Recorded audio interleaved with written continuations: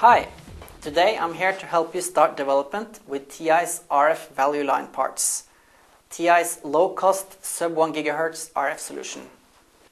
So my name is Erlik Simonsen, Product Marketing for Texas Instruments, and with me I have Magnus Vines, Tools Manager for our DRF group. Hello. And uh, Magnus, uh, so if I buy a uh, value line development kit, what will I get? Then you get uh, all the hardware you can see here.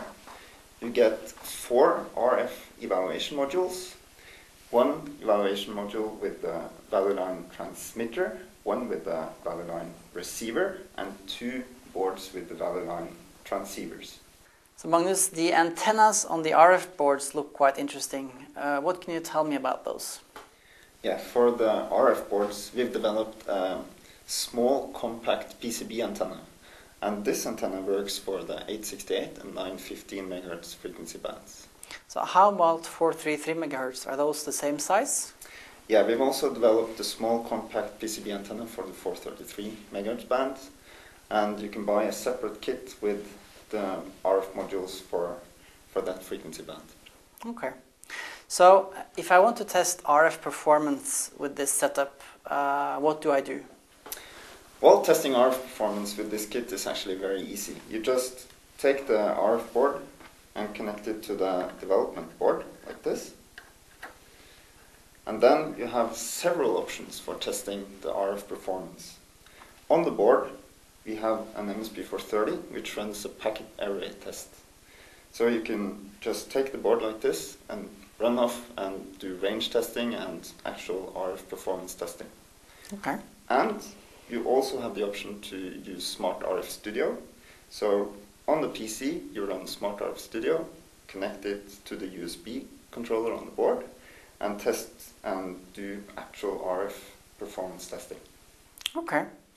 So uh, looking at these uh, evaluation boards, um, what peripherals do I have when I do application development? Well, the board is developed to make it very easy to make demo and prototype software. So the board has a large LCD screen.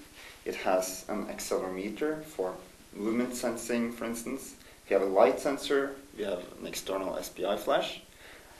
LEDs, buttons, and of course breakout headers for easy connectivity of other peripherals.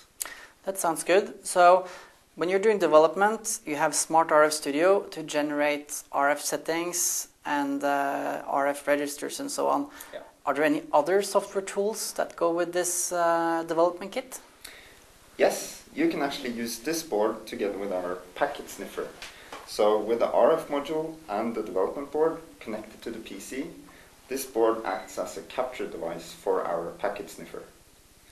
And of course, if you want to develop software, the kit includes the MSP430 debugger.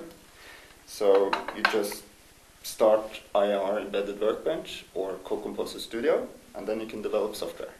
Okay. So to summarize, um, I would need to go out and buy the kit. I would download Smart RF Studio free of charge from the web.